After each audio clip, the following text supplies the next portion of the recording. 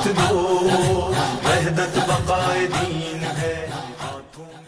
इंतहाई मुख्तर से वक़्त के लिए नायब अमीर हैं तंजीम इस्लामी एजाज़ लतीफ़ साहब एक दो मिनट के लिए इजहार ख्याल करेंगे। नहमदहू वनसली अला रसूलिल करीम।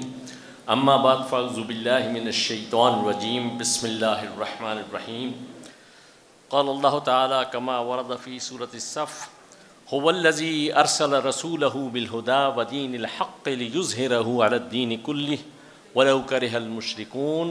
सदक़ल्लाहुल अज़ीम मोहतरम आगा जवाद नकवी साहब और मुज़्ज़माए कराम और तलबा अज़ाम। असलकम वरहमल वबरक जो उनवान है कॉन्फ्रेंस का, वहदत मिलत वहदत उम्मत और मीरास जो है नबूवत। इसके एतबार से मैंने ये आयत आपके सामने तिलावत की है कि नबी करीम सल्लल्लाहु अलैहि वसल्लम ने जिस बिना पर वहदत भी कायम फरमाई और जो आप सल्लल्लाहु अलैहि वसल्लम की मीरास भी है, उसके लिए अल्लाह ने ख़ुद आप सल्लल्लाहु अलैहि वसल्लम का मिशन स्टेटमेंट इस आयत में बयान फरमाया और यह आयत आपके इल्म में होना चाहिए। अक्सर हज़रत जानते हैं कि तीन मरतबा कुरान मजीद में रिपीट हुई है। अहम मजामी कुरान मजीद में कम अज़ कम दो मरतबा या दो से ज़्यादा मरतबा दोहरा कर आते हैं। हमारे उस्ताद मरहूम डॉक्टर इसार रहमत साहब रहमत ने हमें ये सबक पढ़ाया कि जो तकरार है, ये अहमियत की दलालत तो मोहम्मद रसूलुल्लाह सल्लल्लाहु अलैहि वसल्लम का मिशन स्टेटमेंट जो कुरान बताता है कि अल्लाह ने अपने रसूल सल्लल्लाहु अलैहि वसल्लम को भेजा अलहुदा, किताब हिदायत देकर भेजा और दीन हक़ और हक़ निज़ाम ज़िंदगी देकर भेजा। असल चीज़ ये है कि ये जो और भेजा किस लिए? लिजुज़ है रहू अल्दीन कुल्ली, ताकि इसे तमाम निज़ाम है ज़िंदगी पर वो इसे गालिब फरमा दें। वलो करे हल मुशरकून, अगरचे ये बात मुशरकों को कितनी ही नागवार क्यों ना गुजरे, और सूर्य फतह में फरमाया कि वह वकफ़ा बिल्ला शहीदा। अल्लाह ख़ुद काफ़ी है बतौर मददगार के या बतौर गवाह के। तो मैं सिर्फ़ ये तवज्जो दिलाना चाहता हूँ, जिसकी तरफ़ इशारा मुझसे पहले खुतबा जो हजरात उन्होंने भी किया, कि अल्लाह सुबहाना ताला ने अपने दीन के गलबे के लिए मोहम्मद रसूलुल्लाह सल्लल्लाहु अलैहि वसल्लम को मबूस फरमाया। और जब तक ये दीन दीन था तो उम्मत की वहदत मौजूद थी। जब ये दीन महदूद हो गया, और इसकी महदूदियत के हवाले से आप देखिए, अगरचे मोहम्मद रसूलुल्लाह सल्लल्लाहु अलैहि वसल्लम की अभी ज़िक्र हो रहा था कि फ्रांस वाले या दूसरे क्या आप सल्लल्लाहु अलैहि वसल्लम की तोहन कर सकते हैं। लेकिन दूसरी तरफ़ गैर मुसलमों ने मोहम्मद सल्लल्लाहु अलैहि वसल्लम की क़्यादत का, सियादत का लोहा भी माना। डॉक्टर माइकल हार्ट की मशहूर किताब है, जिसमें वो दी हंड्रेड। और मैं उसकी सिर्फ़ ये कोटेशन आपको बताना चाहता हूँ कि दीन और जो हमारा इस वक्त जो मामला हैं, उनमें क्या फ़र्क है? वो ये कहता है, आपको पता है कि वो किताब है ही तारीख़ इंसानी की सौ अजीम तरीन शख्सियात के बारे में। He was the only man in history who was supremely successful both in the religious and secular fields तारीख़ इंसानी में वाद शख्सियत हैं, जो कि सबसे ज़्यादा कामयाब थे दोनों मजहबी जो है एतबार से भी और जिसे हम कहते हैं सेकुलर दुनिया के एतबार से भी। फ़र्क नोट कीजिए, आज हमारा मामला ये हो गया है कि ये जो दीन जो कि अल्लाह ने हमें पूरी ज़िंदगी पर मुहित दिया complete code of life complete system of life इसको हमने महदूद कर लिया नमाज़, रोज़े, हज, जक़ात तक, चंद एक मरासम अबूदियत तक। नतीजतन अब जो हमारी उस, जो दूसरे कहते हैं कि नहीं जी, वो तो कामयाब थे दोनों एतबार से, दीन के एतबार से भी, या मज़हब के एतबार से भी और दुनिया के एतबार से भी।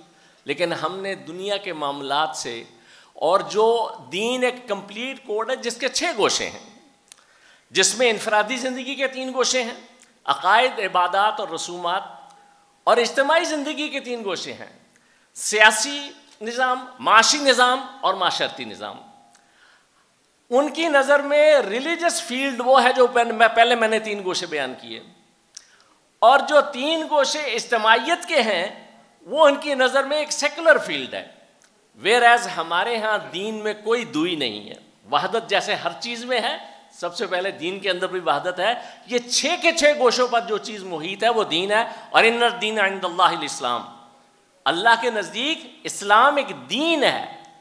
सिर्फ़ जो है महदूद नहीं है रिलीजियस मैटर्स तक, बल्कि इसके अंदर सारे के सारे मामला ज़िंदगी आते हैं।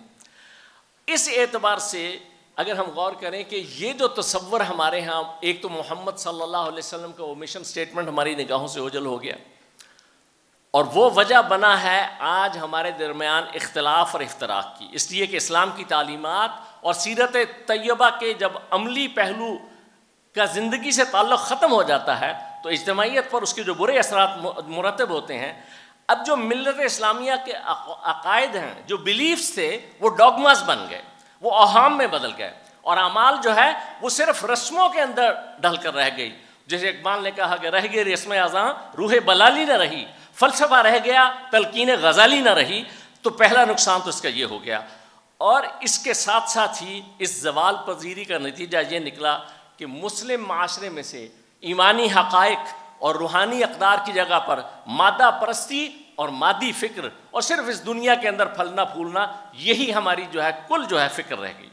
इसका तीसरा नुकसान हमारे ऊपर यह हुआ कि ईमान और अकीदा और इस्लाम के बुनियादी तस्वरत के मस्त हो जाने के सबब से अमली ज़िंदगी में इस्लाम एक प्रैक्टिकल, हमारी ज़िंदगी के सारे मसाइल का हल पेश करता है। ये यकीनी लोगों के दिलों से ख़त्म हो गया।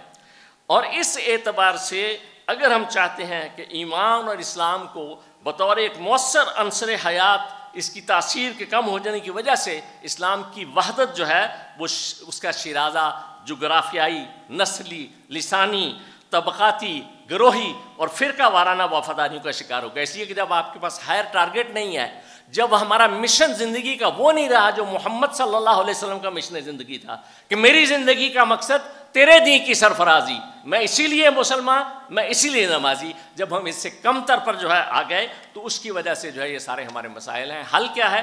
मैं वो बात करके अपनी गुफ्तु जो है मुकम्मल करने की कोशिश करूँगा।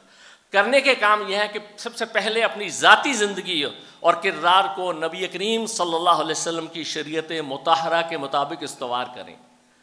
जब तक हर फर्द जो है वो ये कोशिश नहीं करता है तो उस वक्त तक जो शायर ने कहा कि खुदा ने आज तक उस कौम की हालत नहीं बदली, न हो जिसको ख्याल आप अपनी हालत के बदलने का।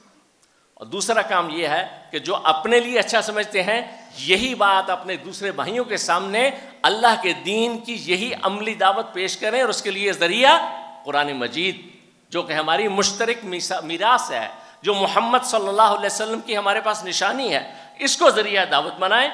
और तीसरी बात यह है कि एक ऐसी इस्लामी ममलिकत और हुकूमत के क़्याम की कोशिश करें जो वाकई इस्लामी शायर की और नामूस रिसालत की हिफाजत कर सके।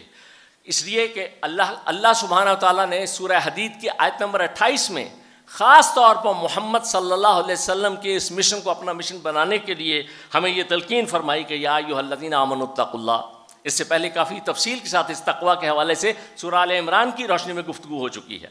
यहाँ पर फरमाया याजीन आमन व आमिन बे रसूल ही ये तकवा नामुकम्मल है, जब तक रसूल सल्लल्लाहु अलैहि वसल्लम पर वैसा ईमान नहीं है, जैसा अल्लाह चाहता है। और रसूल सल्लल्लाहु अलैहि वसल्लम मिशन, वाला मिशन अपनी ज़िंदगी का मिशन नहीं बनाया जाता। अगर ये कर लोगे यो तुम किफ़लैन में रहमत ही तो अल्लाह तुम्हें अपनी रहमत में से दोहरा हिस्सा अता फरमाएगा। वह ये जालकुम नूर तम शून भी और तुम्हारे लिए वह नूर बना देगा, जिसकी रोशनी में इस दुनिया के अंदर भी तुम जो है अच्छी ज़िंदगी गुजार सकोगे, और आखिरत में भी वह नूर तुम्हारे लिए जो है रोशनी फराहम करेगा। मजीद ये कि वह फिर लकुम, अल्लाह तुम्हें माफ़ कर देगा। वल्लाह गफुर रहीम, अल्लाह बहुत बख्शने वाला और मुसलसल रहम फरमाने वाला है। इसके बरक्स बुरा ना मनाइएगा। आखिर में मैं सिर्फ़ दो तीन इशार सुनाकर बात को ख़त्म कर रहा हूँ। हमारा हाल क्या है अमली तौर पर? तेरे सौर बद्र के बाब में मैं वरक उलट के गुजर गया। मुझे सिर्फ़ तेरी हिकायतों की, रिवायतों ने मज़ा किया। और मैं तेरी मज़ार की, जालियों की, मिधतों में मगन रहा। तेरे दुश्मनों ने तेरे चमन में ख़िज़ा का जाल बिछा दिया। आज जो है, दुश्मनों की जो है, और हम किस, किन, किस चीज़ों में पड़े हुए हैं? सिर्फ़ एक चंद जो है, ज़ाहरी चीज़ों के ऊपर जो उलझे हुए हैं। ये मेरी अकीदत बेबसर, ये मेरी इरादत बेसमर, ये मेरी अकीदत बेबसर, ये मेरी इरादत बेसमर, मुझे मेरे दावा इश्क ने न सनम दिया, न खुदा दिया। और तेरा नक्श पा था जो रहनुमा तो गुबार राह थी कहकशां। आप नोट कर रहे हैं नक्श पा किसका? मोहम्मद रसूलुल्लाह सल्लल्लाहु अलैहि वसल्लम का। मुखातब, आप हैं। तेरा नक्श पा था जो रहनुमा तो गुबार राह थी कहकशां। इसे खो दिया तो ज़माने भर ने नज़र से गिरा दिया। वाखिर दावाना अलहमदिल्ला दीन है, हाथों में हाथ दो। वहदत बकाए दीन